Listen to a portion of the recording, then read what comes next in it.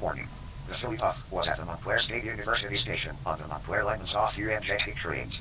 Then you enter Roselle Park and caught another one plus the CSXI 032 with number 902 leaving in 915 acting as a mid-train DPU as well as the CSXQ 404 with number S939, 279, 5417 and 3134.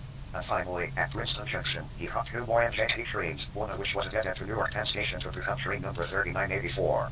Today, TVG is going to show races 1 and 2 from Manning Valley, Ollie, from Gulfstream with Larry and Andy reporting on site as usual, Ollie, from the day, all 9, from Oaklawn with Gabby reporting on site, all 9 from Sam Houston, Ollie, from Turfway and Ollie, from Charles Town,